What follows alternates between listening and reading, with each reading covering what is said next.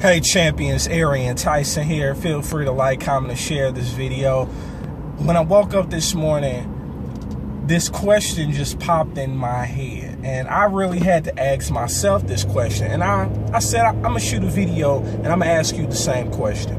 My question is, what are you living for? What are you living for? And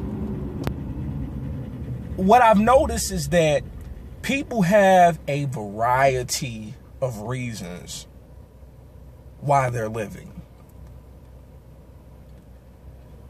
Some people say they're living, you know, for the for their kids. Some people say they're living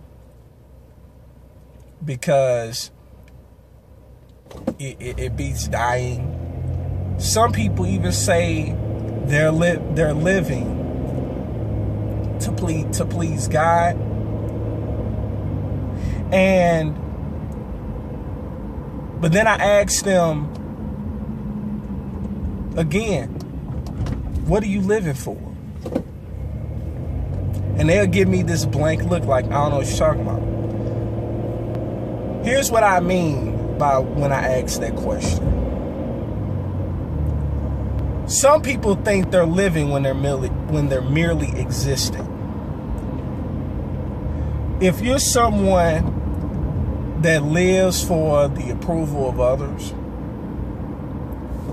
that does what is quote unquote expected of them, you're not actually living. You're just actually existing. Why do I say that? Because for a long time, I thought I was living, and I was merely existing. Our living should be to leave an impact and be a blessing to others.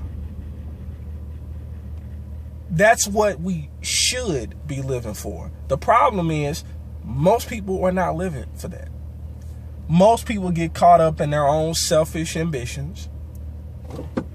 But I'm all for, you know, advancing your standard of living, so on and so forth.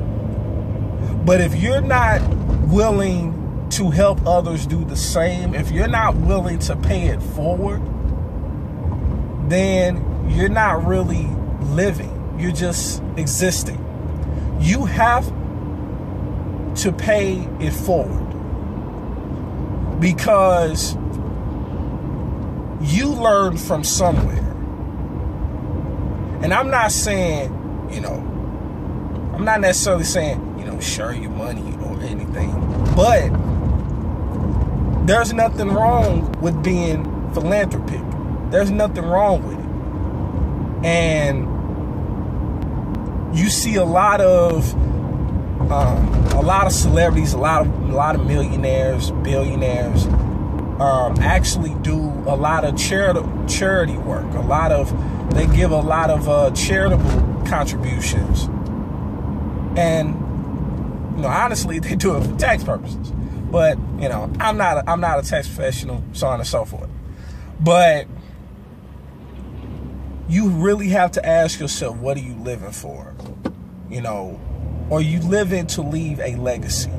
Or you living to make an impact? Or you living to set a standard for your kids and kids' kids to follow?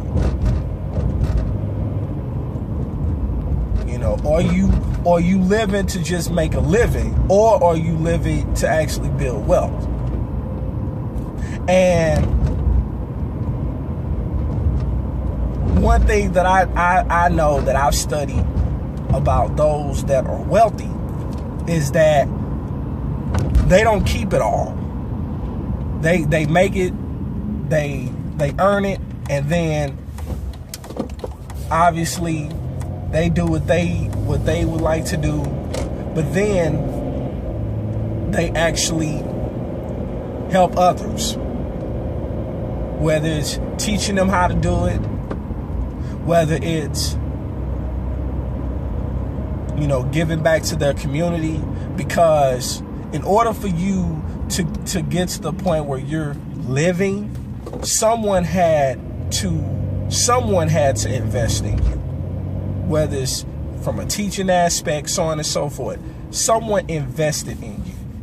And so you have to be willing to invest in others. Because nobody wants to have money, have nobody wants to work for money for the rest of their life.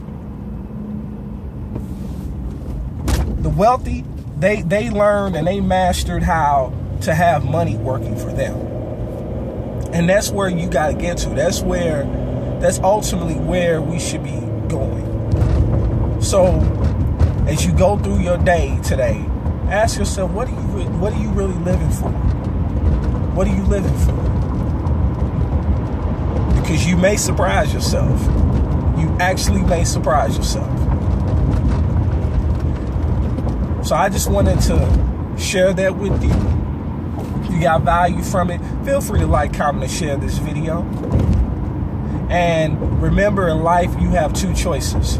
You can make moves or you can make excuses, but you most certainly cannot do both. I'll talk to you in the next one. Peace.